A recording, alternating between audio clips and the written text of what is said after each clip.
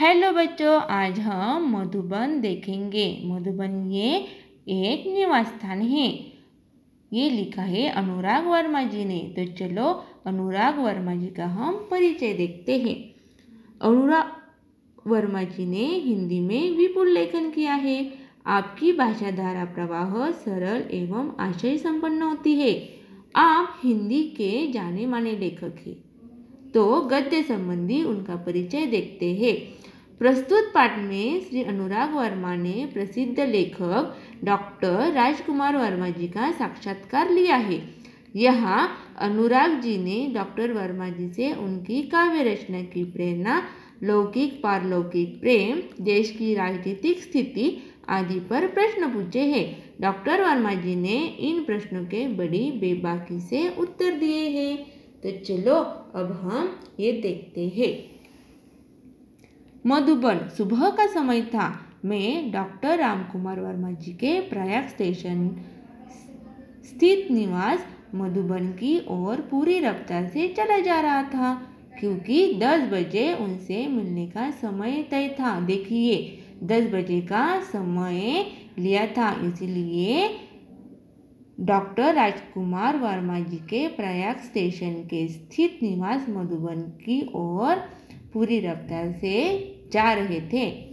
वैसे तो मैंने डॉक्टर साहब को विभिन्न उत्सवों, संगोष्ठियों एवं सम्मेलनों में देखा था।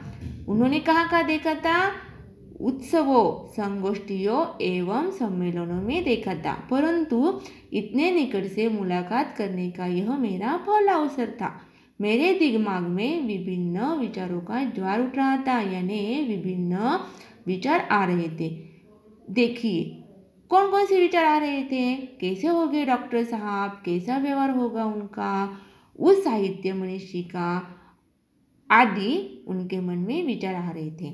इन तमाम उठते और बैठते विचारों के लिए मैंने उनके निवास स्थान मधुबन में प्रवेश किया। कहाँ प्रवेश किया? तो मधुबन में। काफ़ी साहस करके दरवाजे पर लगी घंटा बजाई। नौकर निकला और पूछ बैठा, क्या आप अनुराग जी हैं? मैंने उत्तर में सिर्फ़ हाँ कहा।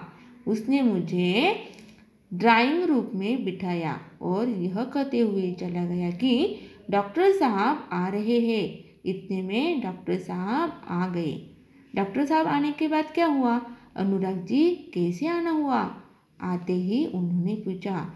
डॉक्टर साहब ने अनुराग जी से पूछा।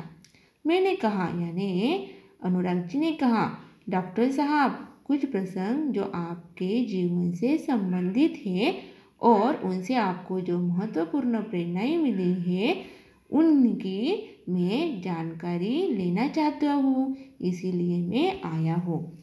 डॉक्टर साहब ने क्या कहा फिर? साहब ने बड़ी सरलता से कहा अच्छा तो फिर पूछिए। प्रश्न क्या किया अनुराग साहब जी ने पहले? डॉक्टर साहब, काव्य रचना की प्रेरणा आपको कहाँ से और कैसे प्राप्त हुई? इस संदर्भ में कोई ऐसा प्रसंग बताने का कष्ट करे, जिसने आपके जीवन के अंतरंग पहलुओं को महत्वपूर्ण मोड़ दिया हो।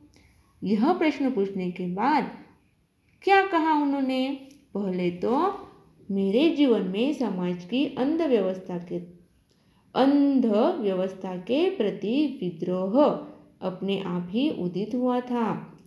सन 1921 में जब मैं केवल साढ़े पंद्रह वर्ष का था, देखिए, जब वे केवल साढ़े पंद्रह वर्ष के थे, तभी गांधी जी के असहयोग आंदोलन में पारिवारिक एवं सामाजिक व्यवधानों से संघर्ष करते हुए उन्होंने भाग लिया था।